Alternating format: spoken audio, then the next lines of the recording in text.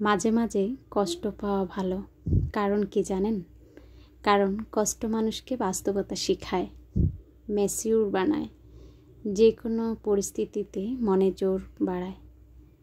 একা বাঁচতে শেখায় এবং আপন মানুষগুলোকে ভালো করে চিনিয়ে দেয়।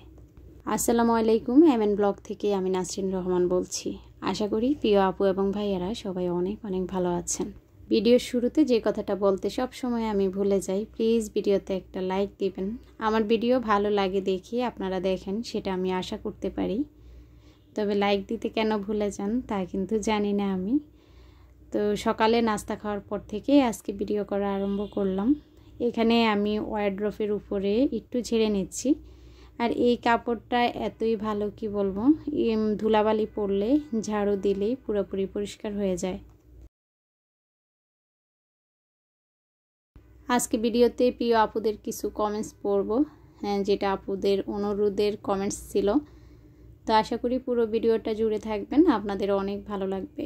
যারা ভিডিওটি ফেসবুক পেজ থেকে দেখতেছেন, তাদের নিকট অনুরোধ রইল, অবশ্যই একটি লাইক এবং ফলো দিয়ে রাখবেন। আর যারা ইউটিউব থেকে দেখতেছেন, তারা আমার চ্যানেলটি সাবস্ক্রাইব করবেন। আমার ইউটিউবের অনেক আপুরা আছে, তারা জানতে চায় যে আমার ফেসবুক পেজ আমি এখন আর ইউজ করি কিনা বা ভিডিও আপলোড করি কিনা।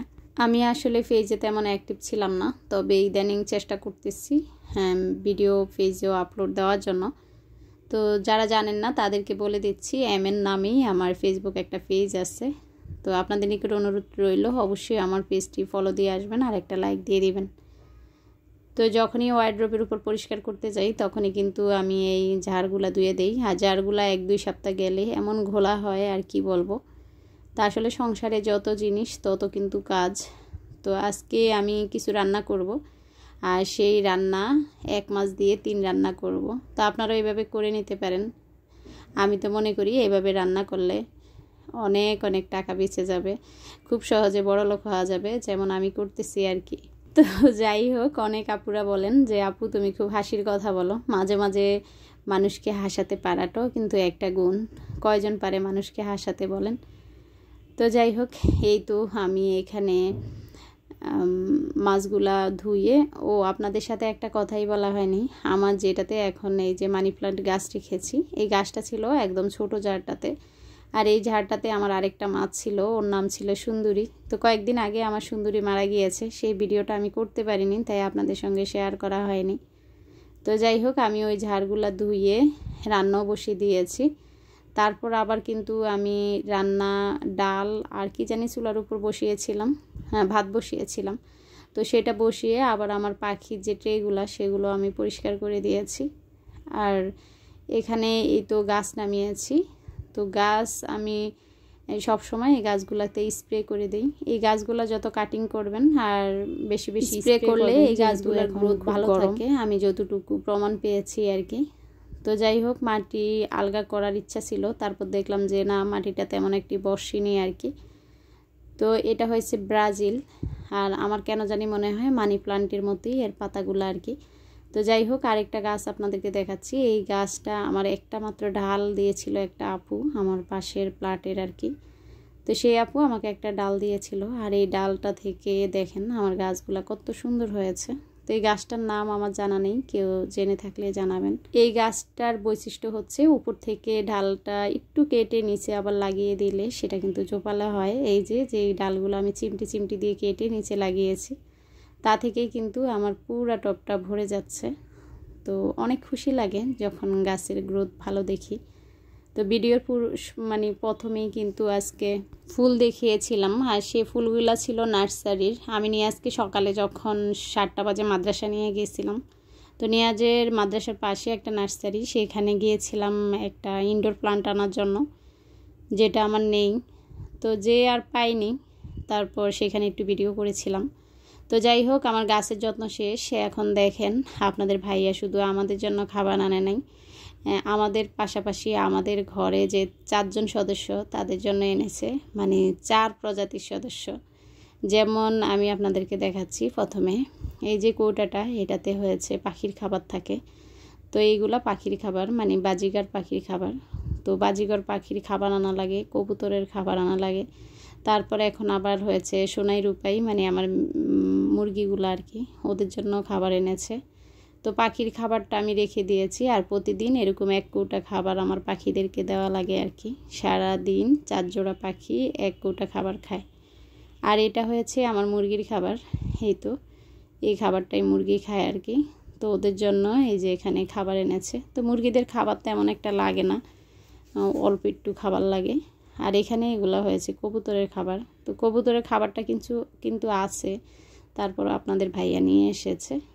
তো আসলে বউকে খুশি রাখতে হলে বউ যে জিনিসগুলো পছন্দ করে সেগুলা আর একটু প্রাধান্য দিতে হবে, তাহলে বউ আরও খুশি থাকবে। তো যেহেতু কবুতরের বারান্দায় এসেছি খাবারটা রাখতে, তাই আমার প্রিয় কবুতরগুলা রেখে দিল দেখিয়ে দিলাম।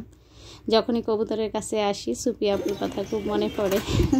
কেননা সুপি আপু আমার কবুতর দেখি বেচারি কবুতর কিনছে আর কি। তা আপু দেখো, কয়েকদিন আগে ডিম দিয়েছে, এবারও ডিমগুলো ফুটলো না। তো যাই হোক, এখানে আমি এক মাছ দিয়ে আজকে তিন তরকারি রান্না করতেছি। এই যে নাড়া দিলাম, এটা হয়েছে পেঁয়াজ আর কিছু আলু আর জিরা বাটা, আদা বাটা, রসুন বাটা দিয়ে কষিয়েছি। তারপর এখানে ইলিশ মাছের দুই টুকরা ডিম আমি এভাবে চটকিয়ে দিয়ে দিয়েছি। তো এটা হয়েছে ইলিশ মাছের ডিম বোনা। সাথে আমি একটু শুকনো মরিচ কাঁচামরিচ দুইটা দিয়েছি। তো ওইটা এখন সেদ্ধ হবে। আর এখানে আমি রসুন বেশি করে দিয়েছি। তারপর জিরা, পেঁয়াজটা, মশলাটা ভালো করে কষিয়ে এখানে দিয়ে দিলাম কচুর যে ডগাগুলা, সেগুলা। আর দিয়ে দিলাম ইলিশ মাছের একটা মাথা। তো দেখেন, ইলিশ মাছের মাথা দিয়ে কচুর গন্ট আর হয়েছে ইলিশ মাছের ডিম দিয়ে আলাদা ডিম বোনা আর ইলিশ মাছের যে মাছটা, সেটা দিয়ে কি রান্না করেছি, সেটাও দেখাচ্ছি আপনাদের। আমার গত ভিডিওতে আমাদের গল্প কথা আইডি থেকে আপু আমাকে কমেন্টস করেছে যে, আপু, তুমি কতদিন পর পর ভিডিও দাও? তো আসলে আপু, আমি চেষ্টা করি সপ্তাহে ছয়টা ভিডিও দেওয়ার জন্য মানে প্রতিদিনে একটা ভিডিও আপলোড করার জন্য। তাতে ভিডিওর রিচ ভালো থাকে।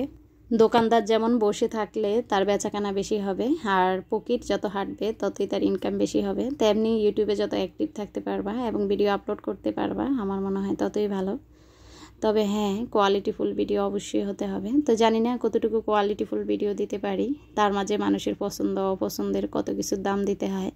তো সেটা না হয় নাই বললাম। আসলে আমি একা মানুষ হ্যাঁ যেভাবে পারি সেভাবে কাজ করি। তো দেখা যায় যে অনেক হ্যাটার্স উকিচুকি মারে, বিভিন্ন দেখা যায় যে দোষ ধরে। তো সেটা আমি আসলে দোষ মনে করি না। আমি মনে করি যে সেটা আমার পথকে আরও সোজা করে দেয়। তো আর কিছু মানুষ আছে ভালোবেসে কিছু কমেন্টস করে, আমার ভুল ত্রুটিগুলো ধরিয়ে দেয়। তো সেই ব্যাপারে না হয় আরেক দিন কথা বলব। তো আমার একজন আপুর অনেক দিন আগের কমেন্ট ছিল, আমি পিৎজাতে যে সসটা ইউজ করি সেটা কীভাবে বানাই? তো আপু এখানে আধা কেজি দুধকে আমি একদম এক ফোয়া করে ফেলেছি। তারপর সেখানে কিছু লবণ, একটু সয়া সস আর দিয়েছিলাম একটু ময়দা। সেটা দিয়ে আমরা যেভাবে হালুয়া রান্না করি, ঠিক সেভাবে আমি রান্না করে নিয়েছি। একটু গুঁড়া মরিচও দিয়েছি। তো এখানে আমি একটা পিৎজা বানাবো, তো তার জন্যই আমি সব কিছু রেডি করে নিচ্ছি। আর এই তো পিৎজার ডোটা আগে আগে আমি ইস্ট দিয়ে মেখে রেখেছিলাম আর কি। নীলুফা রহমান আইডি থেকে আপু বলেছিল যে আপুর শরীরটা খারাপ, তারপরও রান্না করছে এবং আমার ভিডিও দেখতেছে। তা আপু, তোমাকে বলছি, আগে শরীরের যত্ন নাও, তা না হয় পরেই আপুর ভিডিওটা দেখো। তোমার জন্য অনেক অনেক দোয়া রইল আপু। সবসময় তুমি ভালোবেসে আমার ভিডিও দেখো। নীলুফা রহমান আইডি থেকে আপু আমাকে আরও কমেন্টস করেছে, আপু ভাইয়ার পছন্দ খুব সুন্দর। হ্যাঁ তোমাকে সবসময় খুশি রাখার চেষ্টা করে। এইভাবে দুইজনের দিনগুলো আনন্দে কাটুক। আপু, আল্লাহ পাক তোমার দোয়াটা যেন কবুল করে। সারাটা জীবন যেন আমরা আনন্দে, হাসিতে, খুশিতে থাকতে পারি। আবারও দোয়া করে দিও। তারপর আমি কমেন্টস পড়তেছি পাথিহা ব্লগ আইডি থেকে। আপু কমেন্টস করেছে, কেমন আছো আপু? তুমি খোলা মনের মানুষ। আমার নাম নিবে ভিডিওতে। তা আপু এখনও আমি তোমার চ্যানেল ভিজিট করতে পারিনি। ইনশাল্লাহ সময় করে আমি ভিজিট করে আসব। আর আপু, খোলা মনের খোলা মনের মানুষ কিনা জানি না। চেষ্টা করি। আমার দ্বারা যদি কারও একটু উপকার হয়, সেখান থেকে আমি এক পাওয়া পিস পাওয়া হব না। যে যাই বলুক আর কি। তো মাসাল্লাহ পিৎজাটা কিন্তু দারুণ হয়েছে খেতে। তো এই তো বাচ্চাদেরকে পিৎজা কেটে দিচ্ছি আর আপনাদের কাছ থেকে বিদায় নিচ্ছি। আল্লাহ হাফিজ।